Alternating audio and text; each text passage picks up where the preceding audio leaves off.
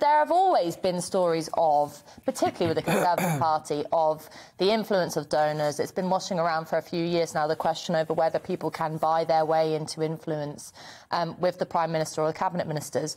But the Sunday Times has got a list now of um, several donors who have supposedly been meeting uh, with organised meetings, one of them actually, as it happens, at the time when Boris Johnson and Carrie were pictured having cheese and wine in the garden um, on that controversial meeting, um, giving advice as to whether they want taxes lowered, whether they want restrictions removed throughout the pandemic, including some quite controversial or uh, we might just say interesting figures. So the um, the wife of Putin's former finance minister um, was asking for allegedly asking for a lowering of taxes of the wealthy. Lord Spencer um, was given a peerage after giving millions to the Conservative Party, and that was the kind of if that's not controversial enough, there was the the outline in the Times that he had previously been blocked because of one of his firms had been allegedly involved in a scandal. There's also an individual here who is uh, allegedly facing a trial trial for rape and sexual assault, who even after that um, was announced was invited back for meetings. So there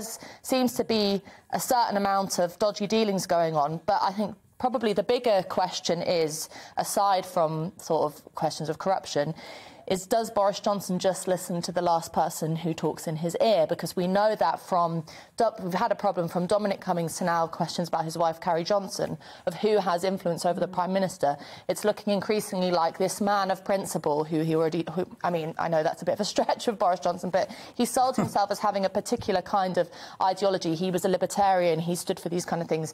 It's now becoming increasingly clear that he really is uh, flailing and is just listening to the last aide or um, influencer who spoke in his ear. And I think that's a real problem for democracy.